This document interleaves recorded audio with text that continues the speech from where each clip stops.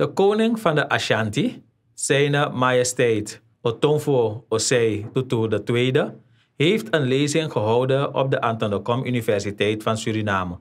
De lezing is getiteld The Role of a Traditional Paramount King in a Contemporary Modern Nation State. Bij deze lezing heeft centraal gestaan de rol van de traditionele koning in een moderne staat.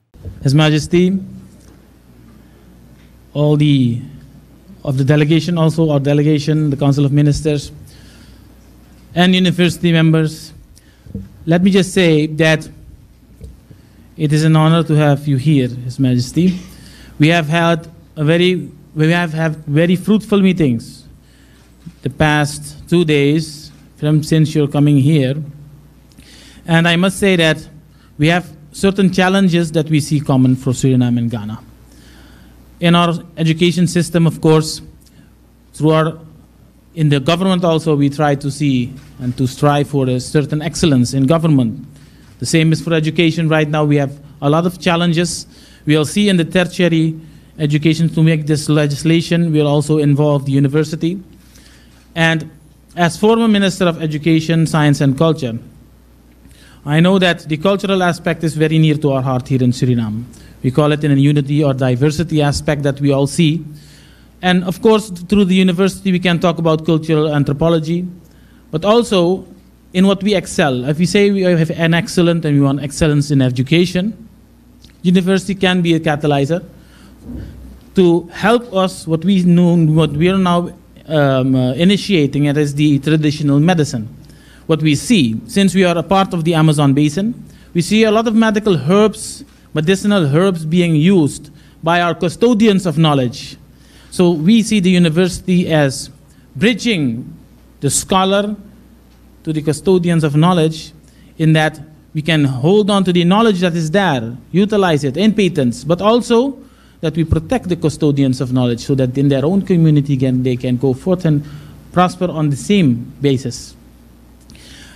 I know that the challenges that we have in common today, we have seen the university propose a chair.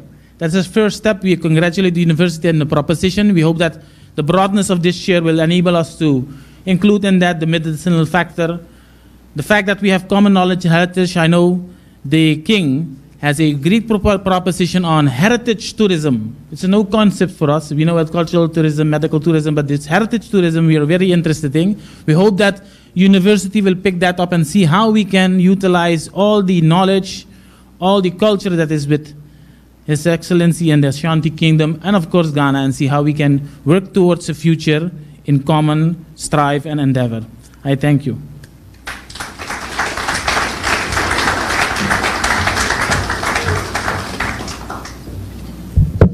Thank you, Vice President.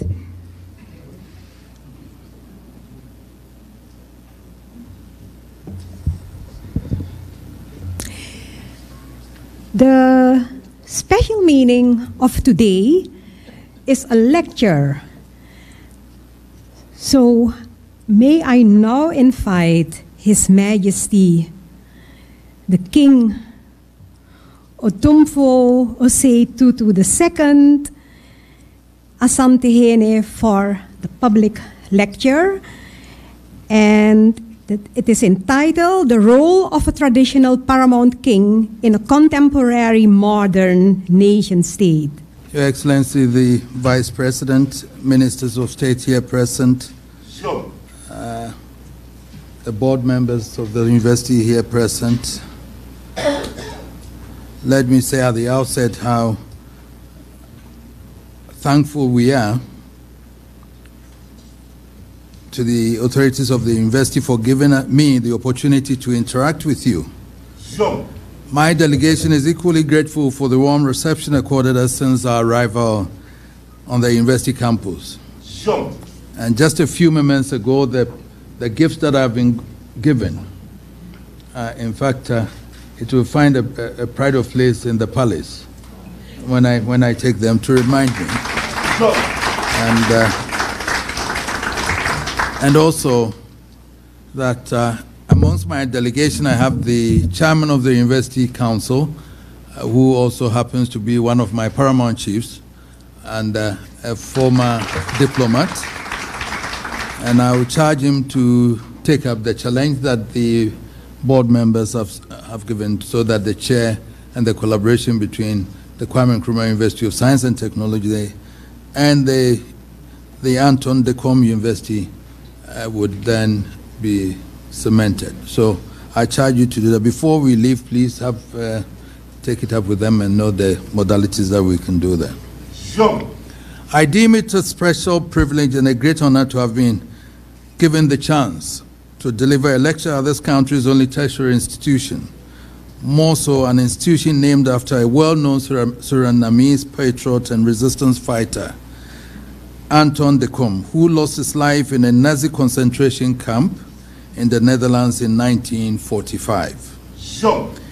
It is with great joy that I bring you warm greetings and felicitations from my president and the government and people of Ghana, your kith and kin on the other side of the Atlantic as you approach the celebration of the 43rd anniversary of your country's deliberation from liberation from Dutch colonial rule. It is my considered view that the organizers of today's lecture could not have come up with a better topic given the time and place of the lecture. The topic, the role of a traditional king in a contemporary nation state, raises several issues and compels us to look at Africa's pre colonial, colonial, and post colonial periods. It revives the raging debate on the relevance of traditional governance systems vis a vis the imported and imposed Western democratic systems and the relevance of traditional leadership in the current democratic dispensation in a modern nation state. Sure. In pre colonial Africa, for want of better classification, two types of societies prevailed the centralized states and the acephalous states. The centralized society denotes a state that had a recognized central authority who owed allegiance to the governed.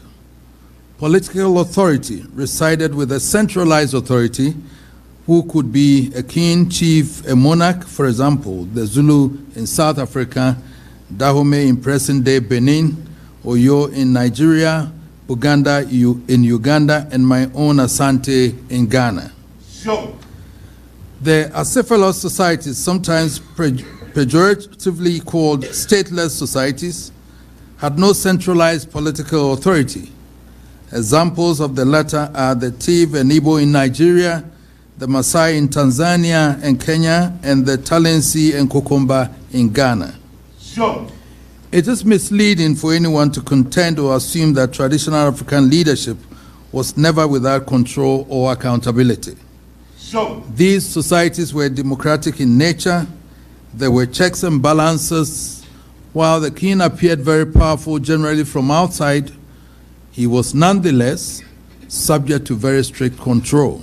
Sure. Not only by means of taboos, but, but from institutions and personalities of very high moral authority authorities and integrity whose main preoccupation was protecting and safeguarding the kingdom. Sure. Indeed, the well-organized nature of the indigenous governance of, of system in, in places like Buganda and Asante compelled the British to introduce a system of indirect rule, a system of colonial administration by which the British ruled through the local chiefs. Indirect rule was first used by the British in Buganda developed in northern Nigeria and later extended to the Gold Coast and other colonies in Africa. Sure. Chieftaincy is one of the most highly cherished of our traditional institutions. Its existence still represents our indigenous system of government as it has existed throughout the centuries. It was in existence in various forms before our first con contact with Europeans in the 15th century and has survived without a break right up until the present. In pre colonial times, chiefs played multifaceted roles and were the fulcrum around which the whole society revolved. Chiefs were spiritual and religious leaders, judges, legislators, military leaders, all rolled into one. In modern governance system, or in, in modern governance parlance, it can be said that chiefs were the heads of all the three branches of government executive, legislative, and judiciary. Sure.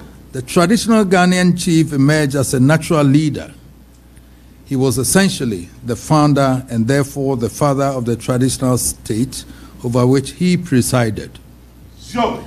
An important role of the king was to lead his people to war to defend, protect, and extend their territories. Sure. Indeed, it was in fulfillment of this obligation that Ashanti kings waged several wars that led to the growth and establishment of an empire that became the largest, the most recognized, and one of the most well known in Africa as a whole. So, The distinction between the roles of kings before, during, after, after colonialism is important. Indeed, colonialism tipped the scale of autocracy and democracy in favor of the king. Sure. The democratic aspect of traditional leadership was weakened by the colonialists who introduced pure dis- dictatorships without checks and balances in Africa. Sure. The post colonial period was no better as many post independent governments saw chiefs as a countervailing power and as impediments to modernization and nation building and tried to curtail their role in politics. Sure. Despite those attempts, chieftaincy has shown its resilience and survived. Since the 1990s, a large number of African countries have enhanced and formalized the position of their chiefs. For example, powerful kingdoms of Buganda, abolished in Uganda's 1967 constitution after the Buganda king had been exiled in 1966, was restored to a certain extent by President Museveni. In 1995, the constitution was withdrawn to recognize the institution of traditional rulers in Uganda. In Ghana, the 1992 constitution guaranteed the institution of ch- chieftaincy, together with its traditional councils, as established by customary law and usage. Article 270, Section 1, and Article 270, Section 2 stipulates that Parliament cannot interfere in the process of recognition of chiefs, an abhorrent practice that in the past was used by politicians to undermine the institution. Sure. This power lies exclusively with the traditional councils and houses, houses of chiefs, with a final appeal to the Supreme Court. The regional houses of chiefs, each of them, each of the 10 regions has one, furthermore act as advisory bodies to the state, discuss traditional so- social practices, and give official recognition to chiefs. Sure. Truth be told, chiefs have remained of much greater importance in Ghana than elsewhere in West Africa. Indeed, traditional leadership position is becoming more competitive than ever before and is attracting academics, civil servants, business leaders, and others from all walks of life. In the As- Asante Kingdom, chiefs are highly visible and organized. Sure. We have always had chiefs with, at different levels in Ghanaian society, elected in accordance with the customs and traditions of their respective communities. In the Asante Kingdom, at the apex of the traditional hierarchy is the king. Below him is the paramount chief, then divisional chiefs. Then at the lowest level is the village chief, Odikro. Sure. There are 70 paramount chiefs in, the, in Asante and Brong-Ahafo regions alone. There are also satellite paramounts in the Volta and Eastern region who all come under my traditional jurisdiction as the occupant of the Golden Stool. Sure. As the incumbent of the Golden Stool, I am the embodiment of the soul and unity of the Asante nation. Sure. At one time, the Ashanti Empire extended from parts of modern Cote d'Ivoire in the west to parts of present day Togo in the east, and from the Atlantic coast in the south to an indet- indet- indeterminate area in the north. Indeed, at the zenith of its power in the 19th century, the Asante Kingdom covered more than 70% of modern Ghana, Sure. and its influence extended beyond the frontiers of the country. Today, the Asante Kingdom remains as one of the most recognized and vibrant traditional kingdoms in Ghana and the world. Sure. Currently, the kingdom covers an area of of 24,389 kilometers, square kilometers, which is about 10.2% of the total landmass of Ghana. Like Suriname, Shanti region has huge reserves of rainforest, which can support different types of farming as ecotourism and the lumber and logging industry. Moreover, a very large percentage of Ghana's premium cocoa used in the manufacturing of cocoa worldwide is from there. Ashanti also has rich gold mines in addition to huge deposits of bauxite, which, unlike yours, is yet to be mined. Above all, we have a well educated youth that can be used to support any development programs and projects. Jump. Geographically, the Ashanti Kingdom is located in the center of modern Ghana, making it the natural gateway to the other regions in the country. The relevant question at this juncture is whether the emergence of Ghana as a nation state has affected my role as a king or a traditional ruler. While recognizing the importance of living in a nation or state, I submit that this has not prevented me from playing my role as a king. Jump. The nation state is defined as one where the great majority are conscious of a common identity and share the same culture. The, the ideal of nation state incorporates people of a single stock and cultural traditions. However, most contemporary states are polyethnic.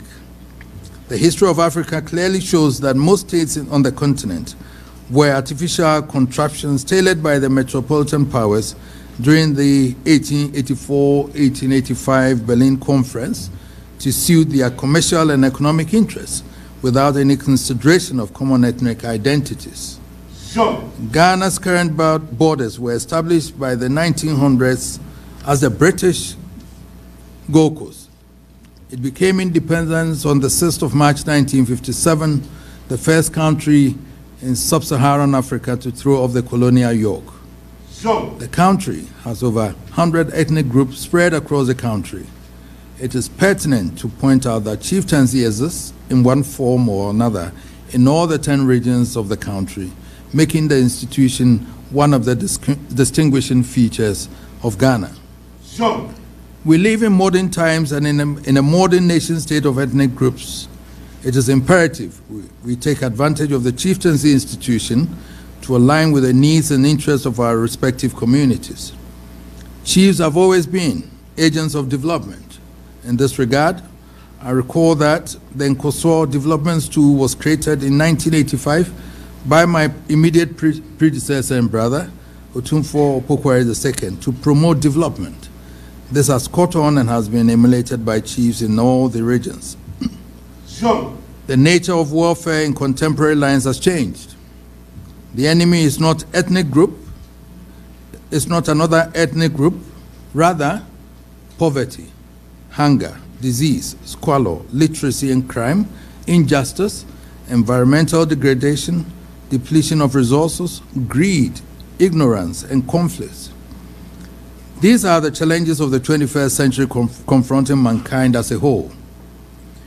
It was with a view to addressing these challenges that the United Nations, in its collective wisdom, adopted the Millennium Development Goals in 2000 at the dawn of the new millennium. It was to cons- consolidate the gains made in these areas that the successor regime of Sustainable Development Goals were adopted by the same organization in 2015. Jump. Since my ascension to the Golden Stool as the King of the Asante Kingdom some 19 years ago, should be 20 in April. Jump. It has long dawned on me that it would be unrealistic to expect government alone, with its finite and limited resources and time limits, to be able to confront these multifaceted and mon- monumental challenges. With the passage of time, I have become more convinced that traditional authorities need to work together and act in partnership with government, civil society organizations, and the private sector if we ex- expect to be successful in tackling the developmental challenges in the broad areas of peace and security, human rights, rule of law, and sustainable development. It was in recognition of the socio-economic realities facing our communities that as king, I have taken some initiatives in some, in some of these areas. I set up the Otumfo Education Fund to generate resources to provide opportunities for quality primary, secondary, tertiary, and vocational education, not only in Ashanti, but Ghana generally.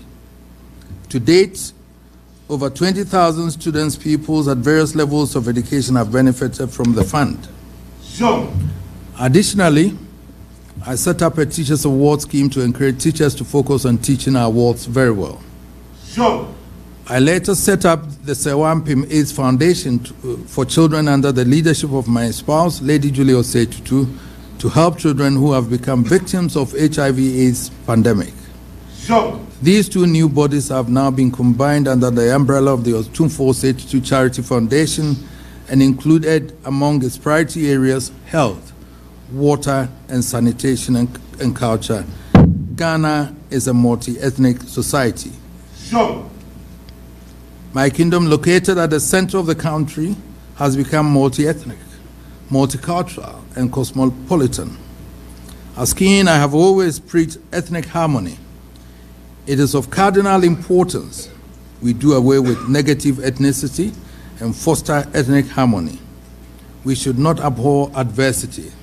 There is strength in diversity, there is beauty in diversity. It beholds every stakeholder in our society not to encourage vociferous tendencies that would either pose an existential threat to the territorial integrity and unity of the country or undermine peace and security generally. Jump. Perhaps it was in appreciation of my unique leadership role that the government of Ghana appointed me chairman of the Committee of Eminent Chiefs to resolve the Yendi skin affairs, which had earlier destabilized a section of our community in the northern part of our country. Jump. Although the conflict is not fully resolved, I, I finished uh, virtually resolving that last Wednesday before I boarded the plane to come here on Thursday anyway. Jump. relative claim has re- relative calm has returned to the area. It can be inferred from the above that as a traditional leader, my revered position and influence can be used in diverse ways to complement the efforts of others to promote the welfare of our citizens, for which we as leaders have primary responsibility. Jump. We are and have always been agents of development. We should continue to use our position to galvanize and mobilize our people to initiate and execute development projects like markets, community health facilities, police stations, while pressing government or seeking external investments to undertake heavy or capital intensive projects for which we may lack the requisite resources. Jump. It was indeed in pursuit of such a strategy that, on my own initiative, I secured a World Bank grant for a pilot project entitled, entitled Promoting Partnership with Traditional Authorities Project. Jump. Under the project, new school buildings, including teachers' quarters, have been put up with facilities for portable water and electricity supply. Jump. As keen in discharging my judicial functions through alternative dispute resolution mechanisms in my traditional course, I can contribute and have indeed contributed to reducing the workload of the judiciary, while at the same time promoting peace and security, which are indispensable ingredients for development. Jump. I recall that early in my reign, I got all chieftaincy cases in court withdrawn to be dealt with in my traditional courts. When cases are satisfactorily settled, the parties do not find their way to court, thereby reducing the workload of the judiciary. Thus, traditional courts have served and continue to be used as a formal machinery for maintaining law and order. In view of the unique position of chiefs in our society, we have always been interlocutors or, or links between our communities and government. It is part of our responsibility as chiefs to ensure that information about government policies is disseminated to the people throughout the kingdom or our respective communities. So, Communication is a two way process. Information should not trickle down but also bubble up. We can and do help to transmit the feelings, opinions of, or grievances of our people either to government or to whoever the appropriate authority may be. Finally, one role of a king which has not changed much is my role as the fo- fount of honor, which confers on me the power to bestow honors on deserving citizens as a reward for bravery or distinguished service to the community. It was in consonance with this tradition that in 2002 I conferred the noble title of Busumuru, son of the Golden Stool, on Excellency Kofi Annan, former United Nations General Secretary, our revered compatriot and global icon, in recog- recognition of his dis- distinguished service to peace and humanity. It is difficult to look into a crystal ball and predict the outcome of the evolution of any human institution with absolute certainty.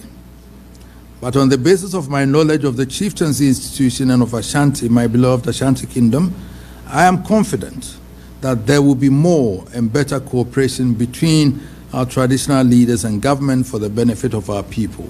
Jump. It is an incontrovertible fact that a chief, especially a prominent one, is a political and social power center, even if in a circumscribed sense, in the area he rules an ipso facto a microcosm of authority. He sometimes rivals central government part in legitimacy, recognition, and loyalty. The power of the politician can be temporary because he suffers term limits, Jump. whilst the chief has no such limitation, and unless he violates his oath of office, may be there until he, he dies. Jump. Whatever tension exists between our traditional governance system and the modern system of government will need to be resolved. In my view, the best way found will be to have a fusion of the best of both worlds. The salient and time tested positive elements in our traditional government governance regime should be combined with the positive aspects of the Western democratic system. Jump. The chieftaincy institution is fluid and dynamic. It is refreshing that our indigenous governance system is reshaping itself to complement the development role of the state. Jump. In fact, chieftaincy implies development, and any occupant of a traditional stool is judged on, on the tangible and, and intangible resources that he can bring to the community through his position. Jump. Chiefs have emerged as legit, legitimate interlocutors of the central government on behalf of their communities and their development aspirations. As a traditional ruler in a multi ethnic nation state, it is part of my ambition and commitment to search for trade, investment, and partners- partnerships for my kingdom and country. I foresee several ways in which Ghana, Ashanti, and Suriname can do business for their mutual benefit. The abundant natural resources in both countries have put both countries on the global map for trade, investment, and partnership opportunities. There are other geographic features enhancing our desires to be partners in commerce. Ghana is the, at the center of West Africa and is therefore the natural gateway to over 250 million strong ECOWAS market. Suriname sits on a major sea and air transport route connecting South and North America. Paramaribo is the closest South American capital to Europe and Africa. We can, we can and must work together in the supreme interest of our people. And I thank you for your attention.